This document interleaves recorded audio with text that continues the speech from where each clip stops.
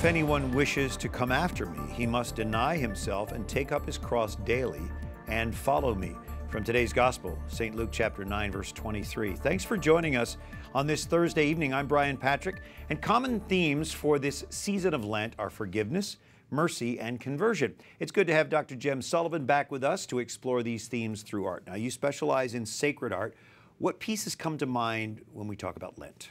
At the beginning of Lent, the church calls us to return to the Lord, to turn back to God with a heart of forgiveness and uh, mercy.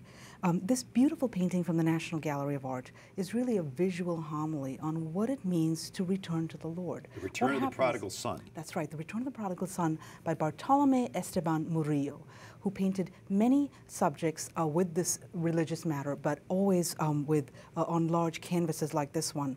The painting is an example of what we would call a simultaneous narrative, where we see all of the elements in the composition on one screen. There's a But lot there. That's right, but Murillo wants us to focus on the heart of the matter, the center of the composition, where we see the Father and the Son in this loving embrace, tender embrace of mercy and forgiveness. The Son is on his knees, he's begging for forgiveness from He's his pretty tattered, too. That's right, his He's clothes are it. tattered, his feet are dirty. He is a symbol of all of humanity alienated by sin from God. He's a symbol of us as we make our Lenten journey back to the Lord uh, with, in, in a spirit of forgiveness. In sharp contrast, we have the uh, repentant Magdalene. That's right, the Repentant Magdalene. Um, and this is another beautiful, moving painting uh, by the French artist Georges simple. de La Tour. That's right, it's a moving image. Um, and really, what we have here is de La Tour is greatly inspired by the Baroque artist uh, Caravaggio. He uses chiaroscuro, which is a sharp contrast of light and shadow.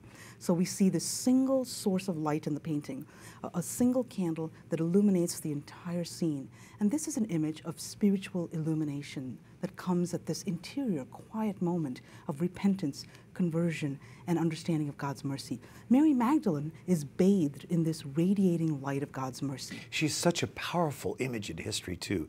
This sinner that they were going to stone, and, and Jesus says, I'm not going to judge you. And, and she's at the foot of the cross when Jesus is crucified. That's right, because she has had this encounter with the mercy of God's love. She now knows that when she comes to the Lord in repentance, she will encounter His great love and mercy. And this is what we're invited to do in Lent as well. We can have that same encounter in Lent.